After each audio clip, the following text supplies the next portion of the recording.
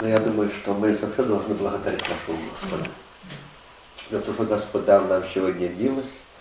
И я как-то по-особенному рад, когда приезжают такие маленькие церкви. С одной стороны, то, что я буду говорить, кажется странным, а с другой стороны, я очень рад, что нам бывает 3-4 человека, но несмотря ни на что, они продолжают ходить. Знаете, для меня это, ну, о многом говорит. Потому что обычно люди любят, когда есть люди, когда есть что-то, и они идут. Нет, и они не идут. А если уже у человека есть стремление, искреннее желание, и он идет, он будет идти в дом молитвы, там, где молится, независимо от того, сколько там будет людей. Потому что он идет не к людям, а к Богу. Хотя вообще-то, конечно, мы хотим, чтобы церкви росли, умножались. Но бывают такие времена, когда это трудно, почва ли какая, или что-то еще, бывают какие-то другие причины. Но бывает такое время, кажется, нет движения. И я помню одно свидетельство, это из Бразилии, когда однажды Господь сказал одному из братьев в определенное место, чтобы ехал, чтобы там он работал. И он поехал туда, вот, и ничего нету. Два, тоже ничего нет. Три, тоже ничего нет.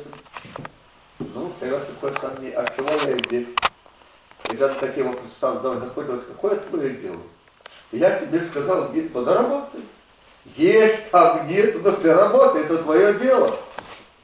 И после прошло время, и Господь сказал, ну вот теперь я вижу, что ты верен.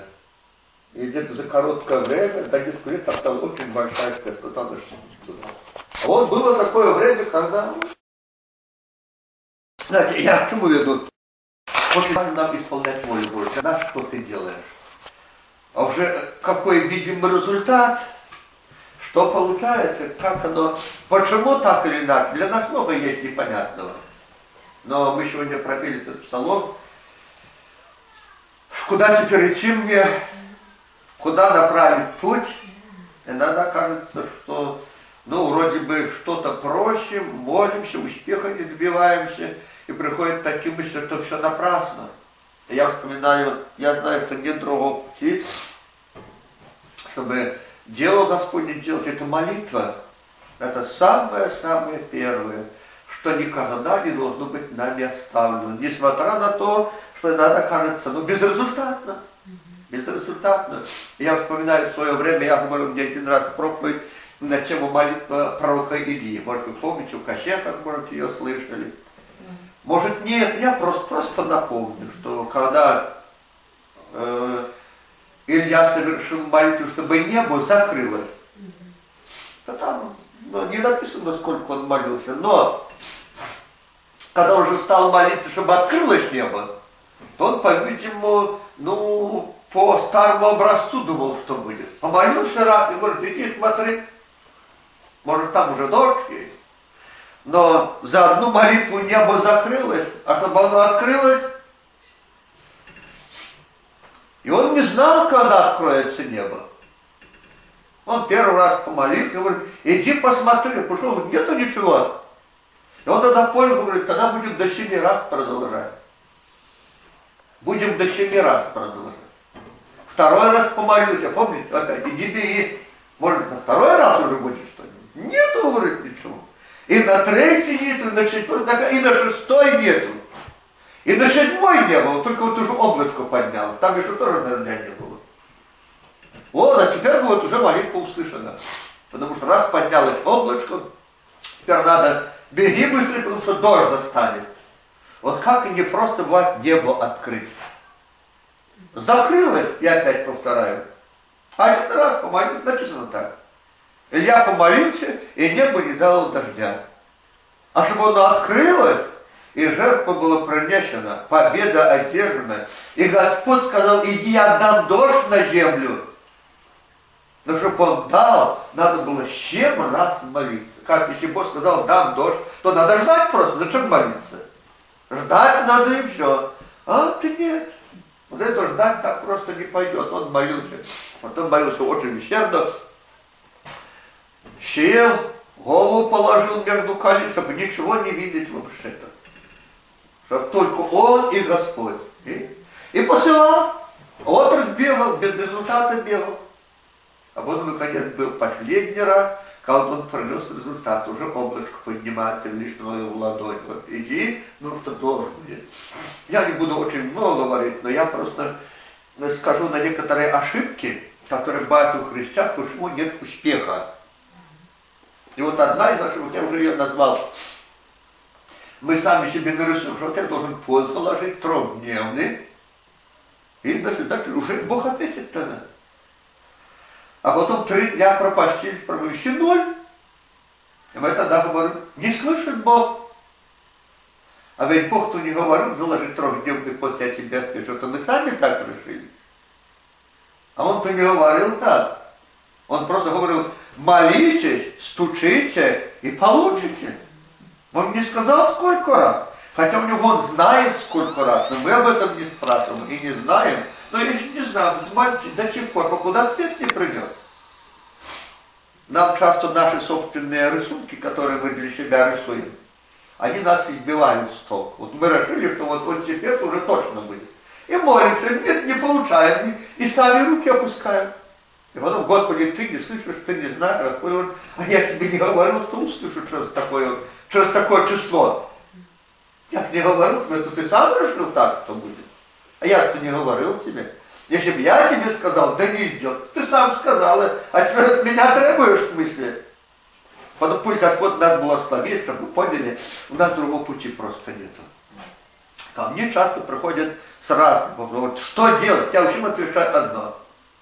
Молитва с постом. И помню, когда ты среди молодежи был, я никогда старшим не был, но всегда считался старшим. Если что-то, значит, ко мне надо было идти. Но я говорят обычно, ты иди к брату Николаю, спроси. Он говорит, а я знаю что, он скажет, надо молиться и поститься. Вот мы я и не иду. А люди думают, что куда-нибудь пойдут другое, там что-нибудь другое будет. Никто другого ничего не скажет. Может быть, будет указано на то, что жизнь не соответствует. Может быть. Может быть. Но и здесь ничего не повернешь без молитвы, без молитвы с постом. Это универсальный ключ. Это просьба к Богу. А если что-то мы получаем от Господа, то Писание говорит, не обманывайтесь, братья мои возлюбленные, ибо всякий дар совершенный любое благое деяние исходит от Отца Светов, от Бога, у которого нет изменений, ничего не перемен. Все. Никуда больше не пойдешь. Но это не такой-то простой вопрос молитвы. Да кажется, все просто. А на самом деле то трудно молиться. Молиться очень трудно. Мы можем пропеть, не раз тоже, это старое, что я повторяю. Можем попеть по два часа, по три часа рассуждать, помолиться столько не очень-то. Ну попробуйте два часа помолиться без перерыва. Или три. Беседовать в собрании, попеть там, тренироваться, это можно. Кто-то делает, люди побольше делают. А помолиться столько уже не очень-то. Поэтому пусть Господь нас благословит, вот не делать таких ошибок, скоропалительных заявлений. Ну, нет пока что. Не приходят люди почему-то. Может даже кто-то ушел. Но за тех, кто уже здесь был, кто укусил, э, как благодать Господня приятна, за них и надо молиться, они уже знают. Но что-то вот мешает им преодолеть. Что-то мешает им переступить какой-то барьер, который мешает. Я читаю то, что мне сегодня хочется прочитать. Я назвал эту тему ошибки христиан. Вы их все знаете, но просто я их перечисляю здесь. Сказал я в сердце моем, дай испытай я вещельем. И сейчас, дай испытай я вещельем. И насладись добром. Но и это суета. А человеке сказал я глупость. А о веселье, что оно делает? Знаете, многие люди от этого как раз добиваются только. Вот это смысл их жизни сам. Да, испытайте весельем и насладись добром. Мы часто слышим, почему у нас такая низкая мораль, почему сегодня так много преступлений. Это потому, что мы бедные. Так люди отвечают. Но это не в этом дело. Не в этом дело. Сегодня говорят, богатые с ума сходят, не знают, куда эти деньги девать. Бедный не знает, где их взять, с ума сходит. А богатый не знает, куда деть, с ума сходит.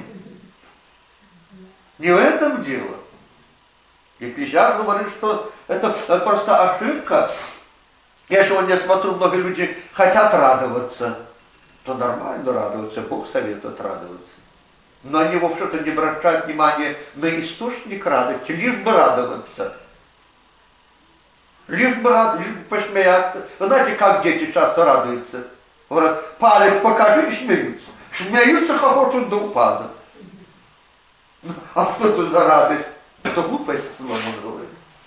Настоящая радость, она приходит в Духе Святом. Ибо Царство Божие, что не пища и питье, но сначала что? Праведность, а потом что? Мир, а потом что в конце? Вот когда эти два есть, тогда и радость в Святом Духе будет. А если первых двух нет, то если и есть радость, то это не та радость. Это не та полноценная радость, которой можно радоваться и быть довольным.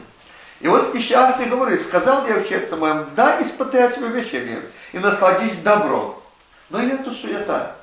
А смехе сказал я, глупость, а веселье что оно делает? Вздумал я в сердце моем услаждать вином тело мое. И между тем, как сердце мое руководилось мудростью, придержаться и глупости. Это первая христианская глупость. А что ты так стараешься? Стараться, то стараешься, ну, ну совсем же и не отказываешься от всего. Мудрость такая, говорит, мудрость и глупости надо придержаться еще.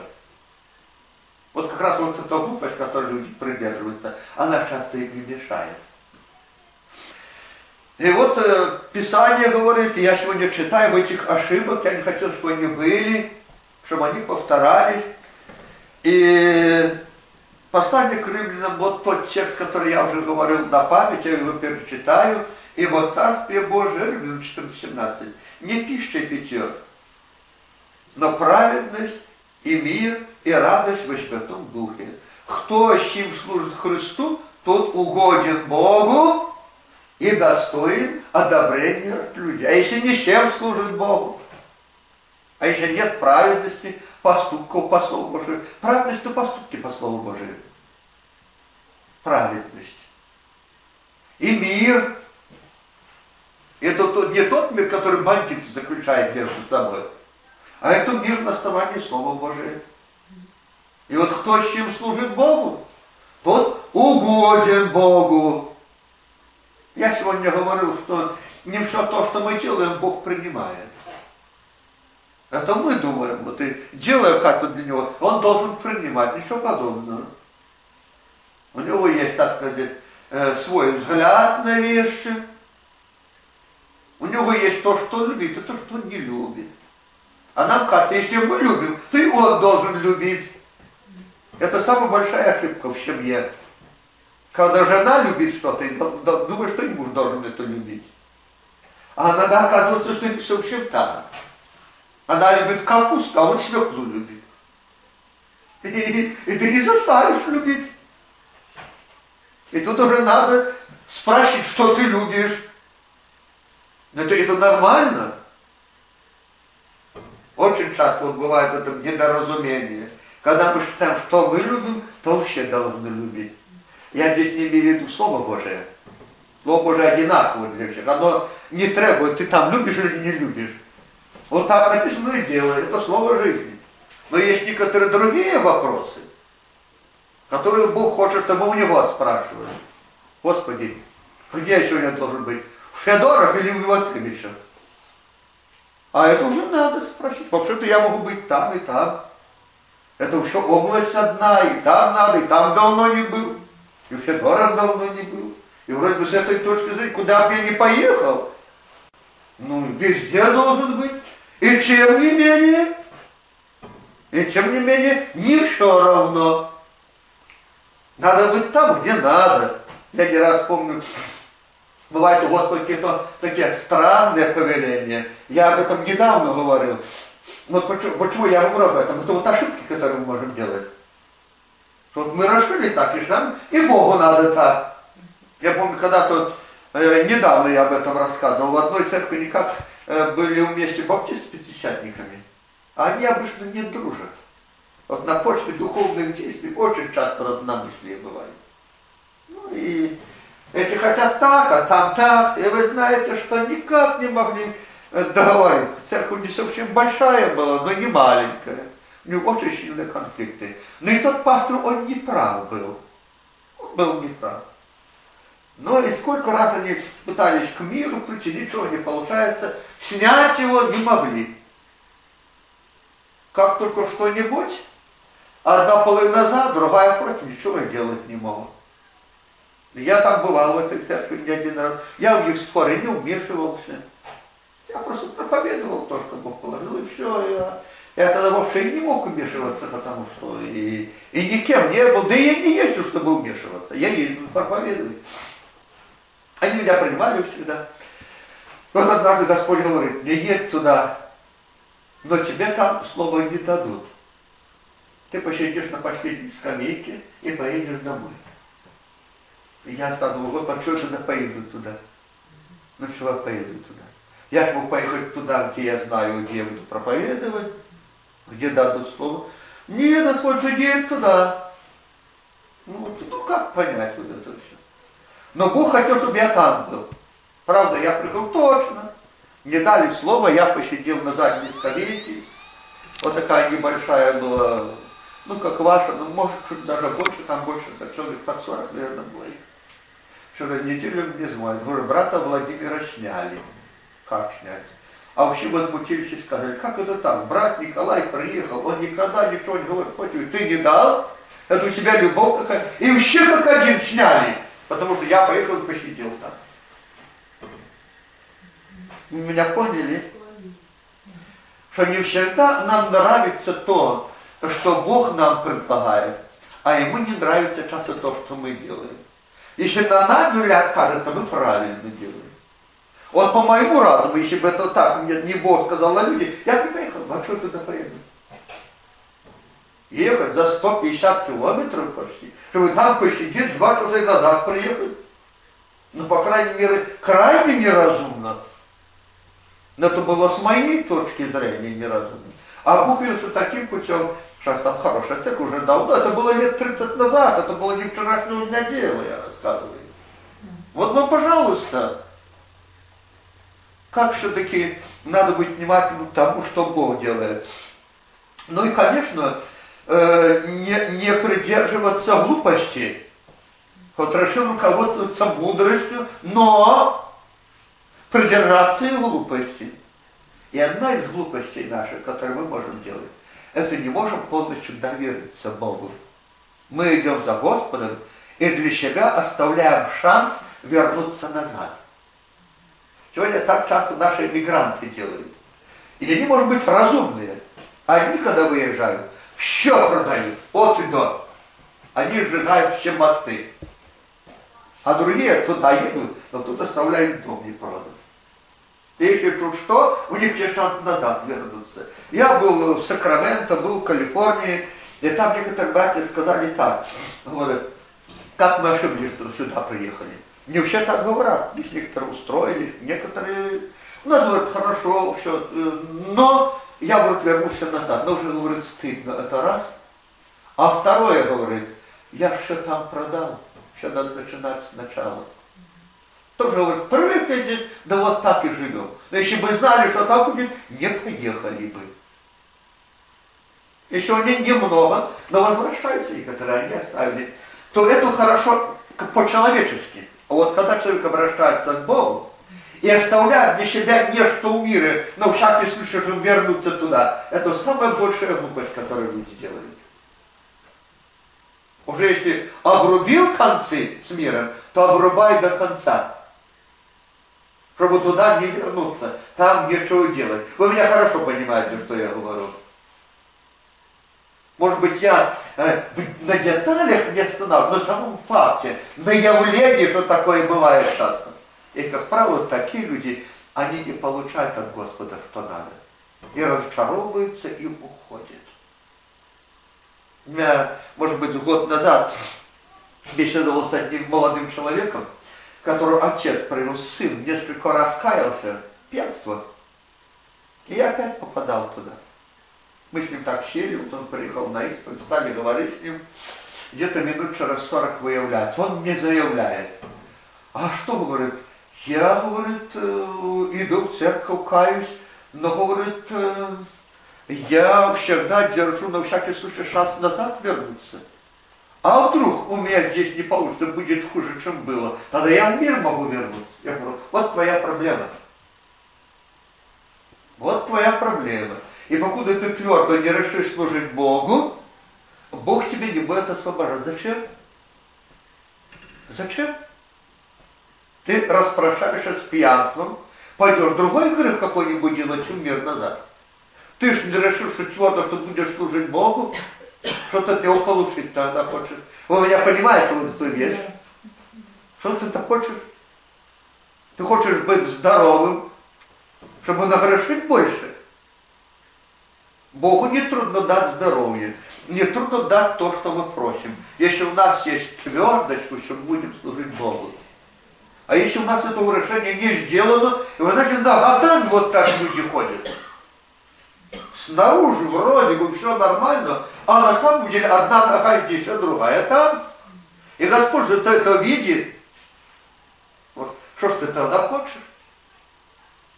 Ты хочешь получить то, что ты хочешь, и, и жить той старой жизнью, которой ты жил раньше. Так же не получится. Потому что если решаешь, то решай. Пусть Господь благословит нас. Я бы хотел, чтобы вы это знали. Ну, я не буду говорить о суете, но есть много таких вещей, которые мы делаем. Суета. Э, и мы сразу не видим этого. Нам кажется, что это очень надо. И только потом говорим, и зачем я это сделал? Это ж пустую все. У вас было когда-нибудь такое? Вот что-то сделали, а потом вроде бы надо было, потом глянули, а, а зачем это надо? Оно же ничего не поменяло. Все осталось так, как было, и что хуже стало. Да зачем это надо было? А сюда были вложены средства, здоровье было вложено, нервы, как мы говорим, а ноль. И Соломон говорит,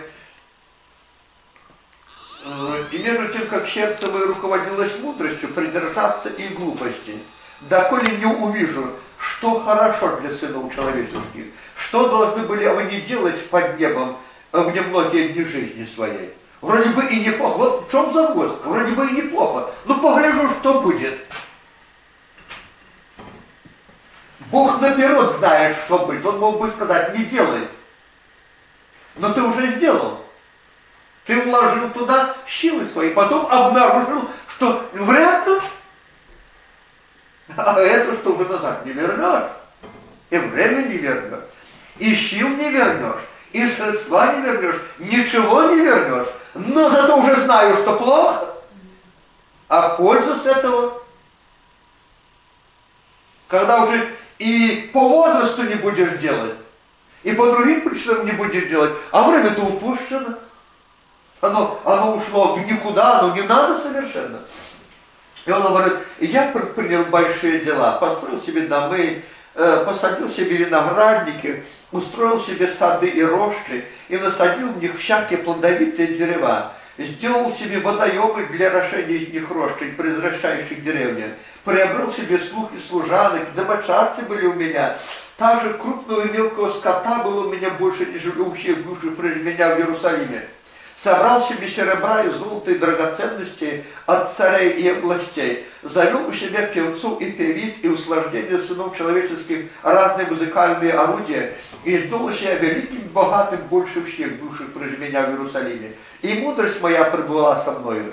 Что бы глаза мои не пожелали, я не отказывал им, не возбранял сердцу моему никакого веселья, потому что сердце мое радовалось во всех трудах моих, и это было долею от всех трудов моих. И обнялось я на все дела мои, которые делали руки мои, и на труд, которым трудился я, делаю им, и вот все суета и томление духа, и нет них пользы под солнцем. Сколько там? 300 жен, не помню, то что 700 наложниц было у Соломона, то Соломон пишет. Зачем они тебе? Или несколько тысяч слуг, да тебя накормить десяток хватило бы. И как цару, ну золото, зачем оно у тебя? Но ты отдал его половину бедных домы, пастор, когда у тебя лежали. Вы понимаете, как вот люди неправильно пользуются. Вот они стоят, смотрят на это все. Оно же им не надо. Те же самые Радзивиллы. Эти семейные реликвии, ценности, они из года в год переходили.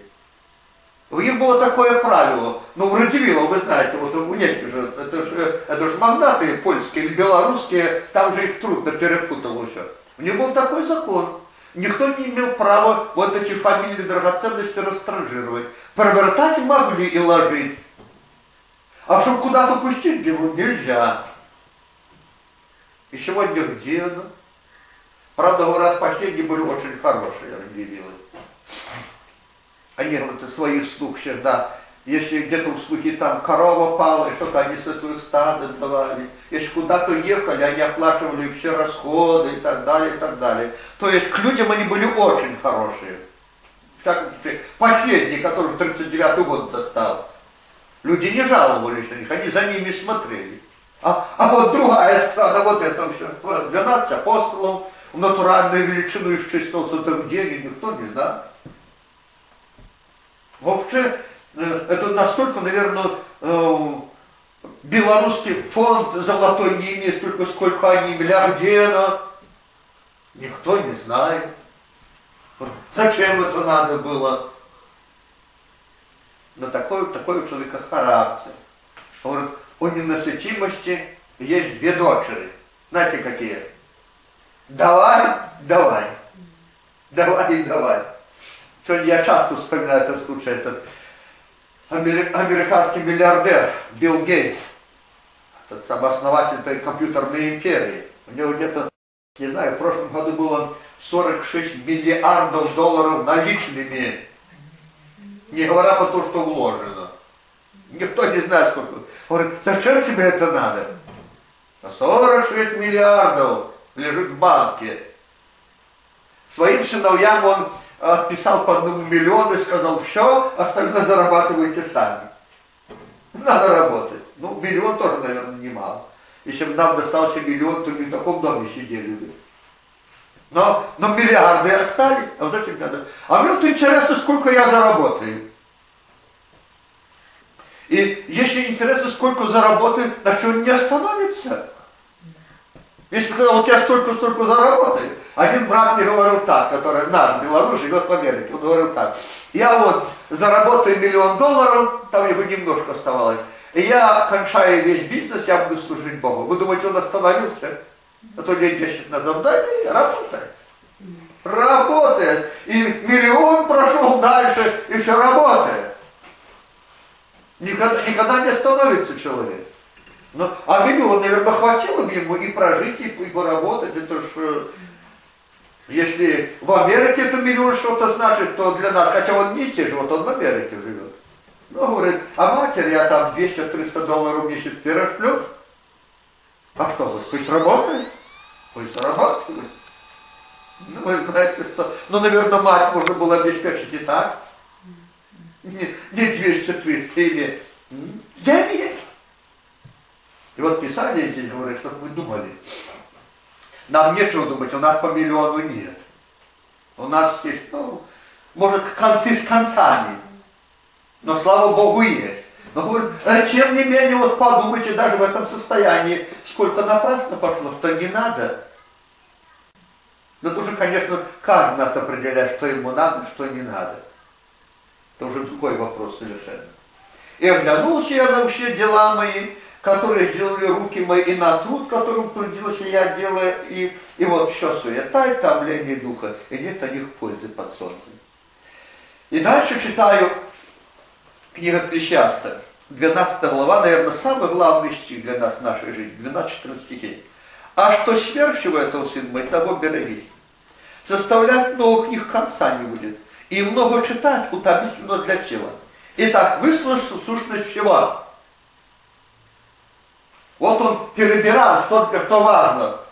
И в конце пришел к выводу. А теперь выслушаем сущность чего. Бойся Бога и заповедь его соблюдай, потому что в этом все для человека. И очень важно подмечено 14 стих. Ибо всякое дело Бог приведет на суд. И все тайное, хорошо оно или худо. Вот еще что. Одно дело, что пользы нет никакой. А второе, и что Бог приведет всякое дело на суд и скажет, я тебе вот это давал, если вот это куда ты, на что ты пустил? Зачем тебе это надо было? Для чего это ты делал? То, что пользы не получил, само собой. Забыл про заповеди Божии, это одно. А потом же еще разбор всякого дела. Это уже другое.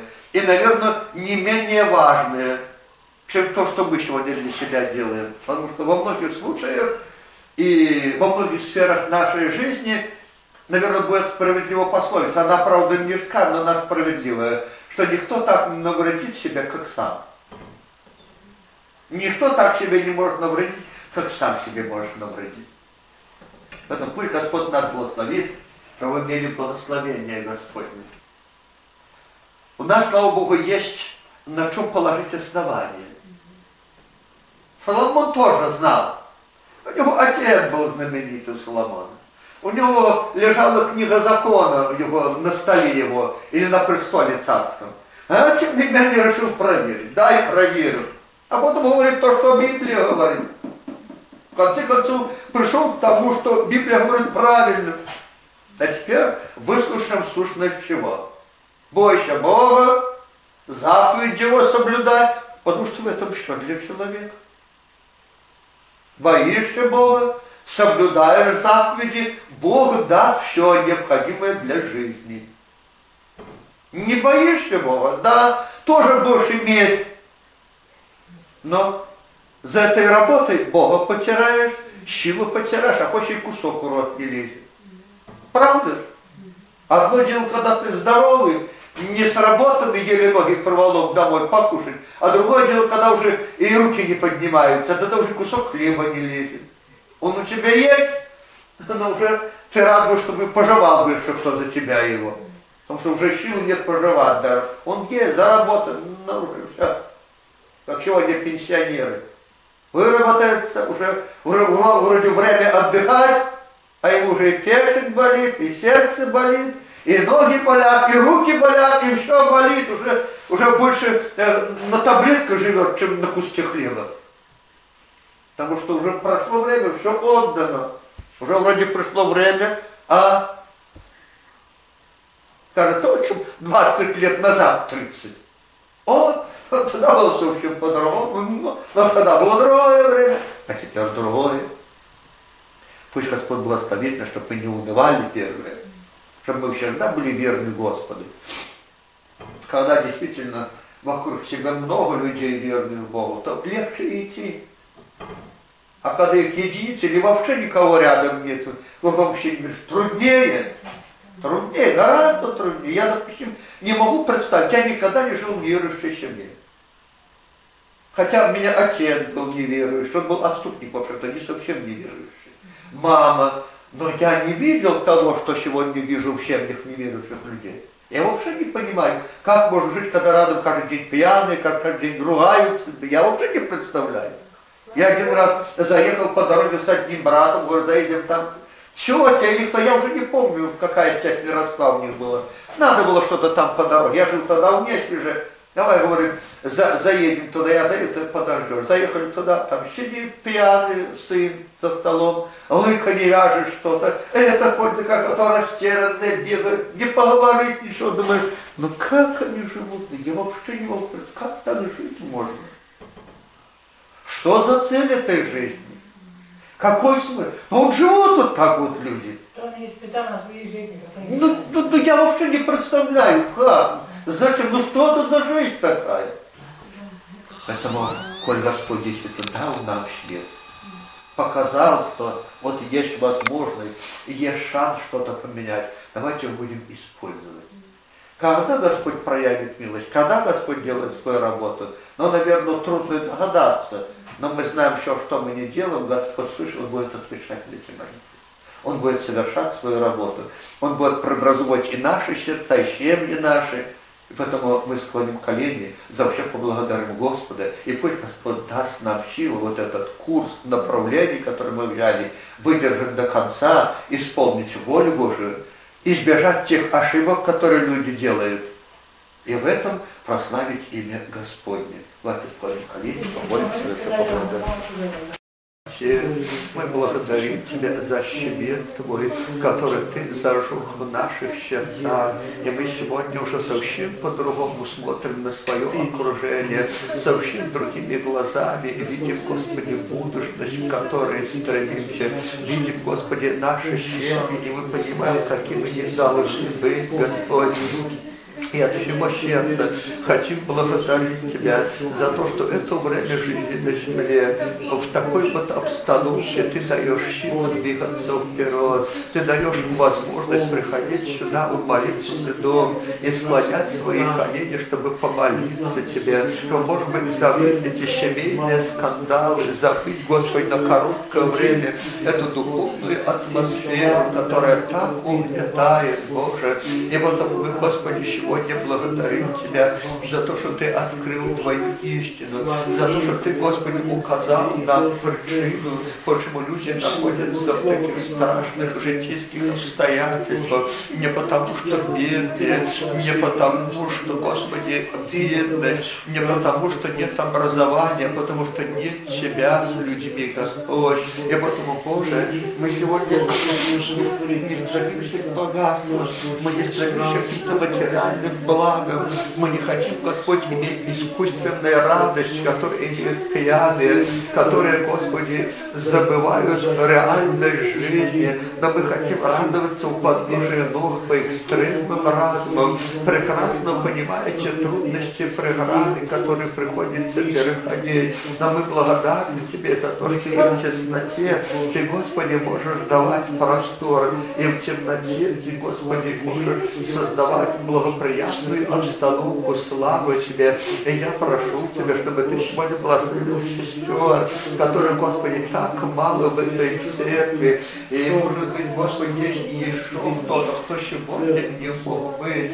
Это, Господи, так же по-человечески не устраивает никого из нас. Но, с другой стороны, я хочу благодарить Тебя за то, что, Господи, проходят годы, их остается столько же, но они продолжают идти, чтобы молиться, Господи, Господи, чтобы ходатайствовать за своих близких и родных, чтобы наконец наступил жизненный момент, когда Ты разрушишь эти, Господи, узы греха и беззакония, их домашних, близких, родных, мужей, сыновей, дочерей, матерей, Господь.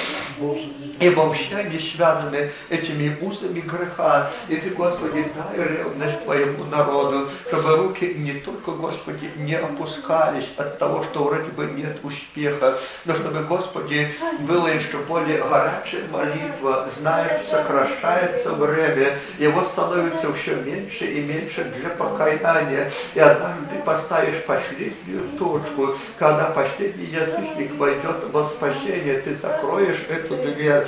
И нам так хочется, чтобы наши близкие родные успели, чтобы, Господи Боже, кто-то из них даже был этим последним, но не хочется, чтобы кто-то оказался опоздавшим, Господь. И ты знаешь это щеление, ты знаешь, сколько здесь людей, которые, Господи, не имеют спасения. Ты знаешь, Господи, всю ту обстановку, духовную атмосферу, Боже, и ты направ, Господи, людей, которых Ты хочешь спасти, в этот, Господи, наш молитвенный дом. А нам, Господи, дай способность силу принять их, воспитать их, чтобы они не уходили от нас. Может быть, Господи, они уходят от недостатка молитв, от того, что, Господи, дьявол крепко держит в плену, а у нас не хватает сил помочь им разорвать этот плен. Господь, мы много чего не знаем.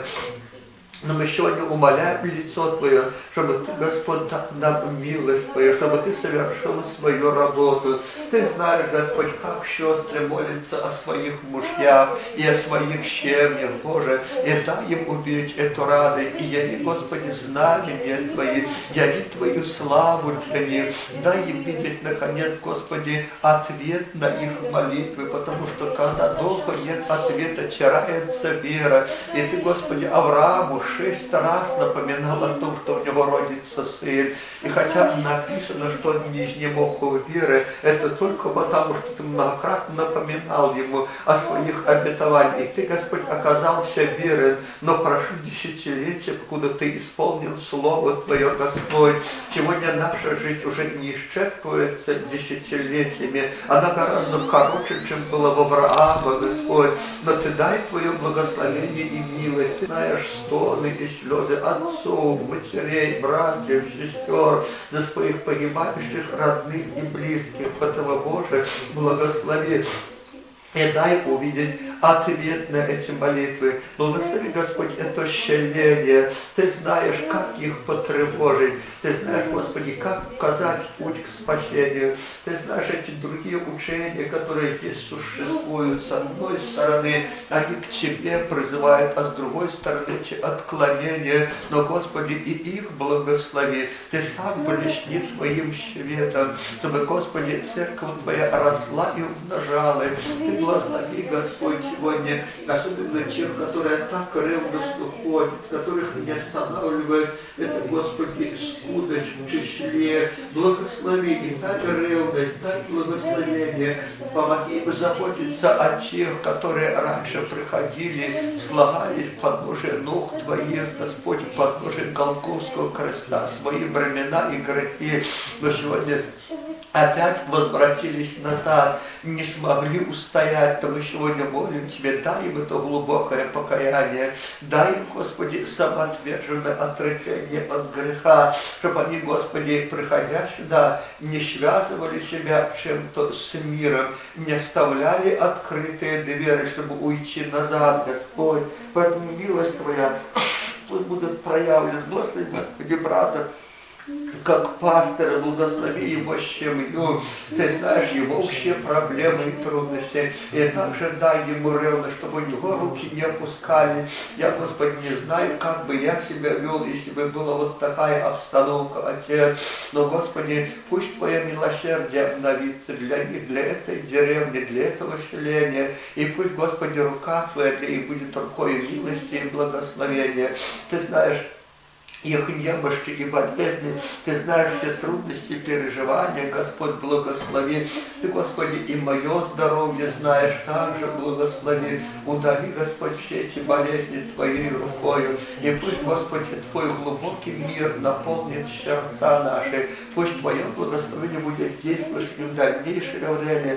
И пусть Твоя святая любовь будет как знамя над всеми нами чтобы мы не просто были по наружности христианами, но по исполнению Слова Твоего, по тех глубоких чувствах, которые мы должны иметь в отношении друг друга.